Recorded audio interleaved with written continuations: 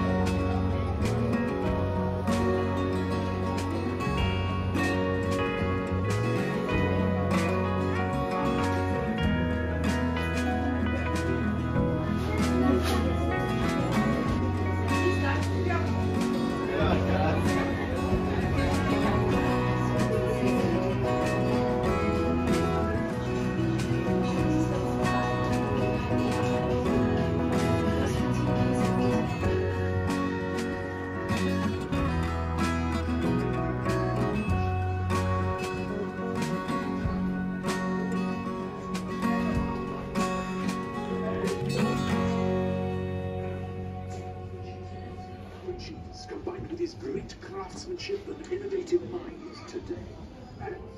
Spreading the Jesus